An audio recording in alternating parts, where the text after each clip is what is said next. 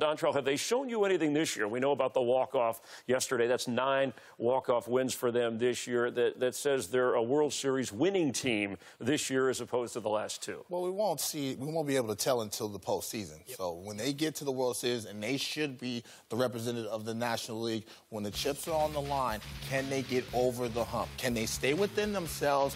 And play their type of baseball and get it done against an upper echelon frontline team. They might see the Astros, they might see your Yankees. Totally. But can they stay within themselves? They already know what's at stake. They haven't won a World Series since 88. It's a lot of pressure on this team. They don't want to turn into the Buffalo Bills of baseball totally. and continue to lose in the World Series. So we're going to see when they get to the postseason, but most likely they'll be the National League representative. Yeah, no doubt. Well, hopefully for the Los Angeles Dodgers, third time's a charm, right? Mm-hmm. I mean, obviously yeah. losing the last two seasons. I think the one thing that I really enjoy about this year's Dodger team is it just doesn't seem like there's as much drama in the locker room. Absolutely. Right? It's kind of like last year in the playoffs, seemed like the narrative was about Manny Machado and the things that he was doing, not necessarily what the Dodgers were doing. Maybe a couple years prior it might have been Yasiel Puig right. and, you know, the things that he got himself into. This year just seems kind of things, everything seems kind of cool, right? Mm-hmm. Just kind of seems like they know exactly who they are.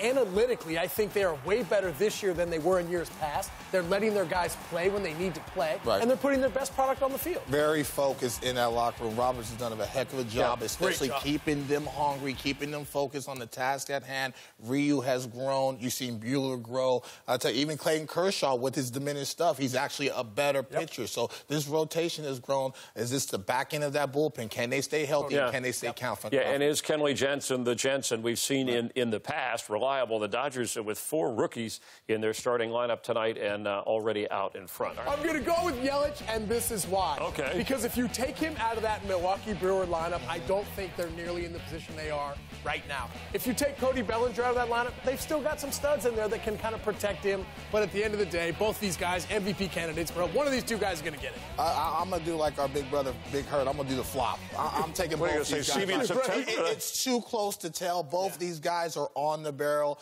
They're two of our best players, especially in the National League it's going to take someone to have a bad week. It's going to be that yep. close. Does it matter a first place team, a playoff? Absolutely. I, I think that's going to help. If, if Yelich fights and gets them into the postseason, he wins right. that MVP because right it, you know, Bellinger has a little better supporting cast around him. I was in a race like that with Chris Carpenter. We were going win for win, both 20 game winners. He started the All Star game, and his team ultimately got in the postseason, so the trophy went to his house. But that's how tight this. We'll go steal that that's trophy. All right. that's all right. But you know, it, it, it's fun to watch these guys they're a talent every single night. You know, they bring guys to the park because they're going to do something positive every single night. But I think right now it might be a hair with Yelich, but I, am going to do the Dr. Flopper. We love you, Big Hurt, but I'm yeah. a flop tonight. Oh, that's a big flop. Uh, but I mean, a whole lot of flopping. One guy's 24, one's 27, so they're going to be around a while. Right. Maybe, you know, do they rest Bellinger if the Dodgers have a big lead later? Could that have an effect? Not I, if there's uh, money on the line, because no? they're going to want okay. that trophy to come down to L.A. You All know right. what I mean? So he's going to continue. Plus, they want to continue to keep him hot, hot. and confident, too. Yes. So you don't want to sit him too I mean, long. This is a career 270 mm-hmm. hitter, and, yeah. and uh, he's turned it around.